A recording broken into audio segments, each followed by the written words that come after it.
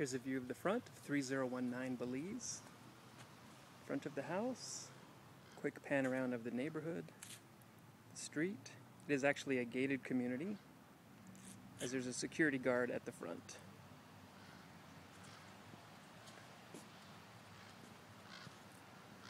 As soon as you walk in, here's the stairway. To the left is the living room. You got laminated pergo wood floors, tall ceiling, and to the right, another room. Here's the stairwell, which goes up, and we will walk to the top of the stairs. From the top of the stairs, and as we look up, we'll go down the hallway and see what we can see. First door to the right, bathroom. Lights don't appear to be working very well.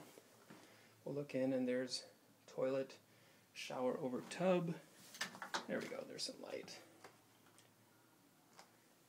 And back to the linen closet. Here's bedroom number one. Tall ceilings faces the front of the house. Bedroom number two. Dark blue walls. Also laminated wood flooring. And there's that. We have the upstairs hallway. Here we have the master bedroom. Take a look in here.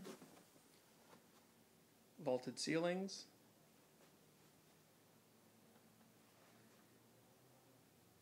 And what you'll also notice, which is kind of peculiar, is a fireplace, which is actually on and is generating quite a bit of heat.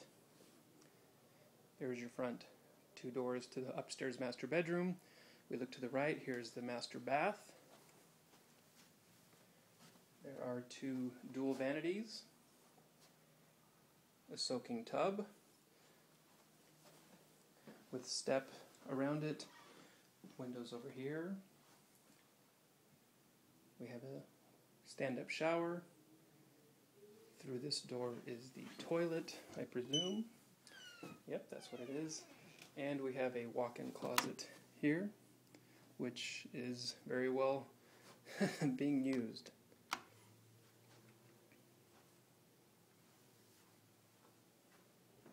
There you go, that is up.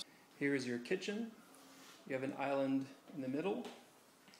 There's your place for a refrigerator stove and oven, two doors going out to the dining room, gas burner stoves here, tile countertops, view to the backyard. Here's the little dining nook area. You have two doors going out to the backyard, and here is our family room with people enjoying watching TV. Through those two double doors, and here's our backyard. We have some type of gazebo here. We'll look at that in just a second. But here's your backyard. Pretty good size. We have a tile setting on probably concrete in the back. Here's the other side. The see what this development looks like. Actually backs up towards the entrance of the development. The guard gate is over there. And as we view over towards the left, we have, uh, I believe that is Whipple Road. So let's go take a look at that. And as I pan back around, I couldn't find an easy way to get into that gazebo, but it looks like there is a jacuzzi inside there.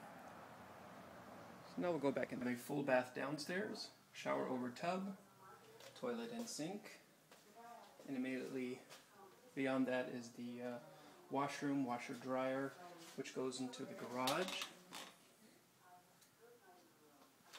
And as we back out, there is one full bedroom downstairs, sliding glass door to the outside backyard. Okay.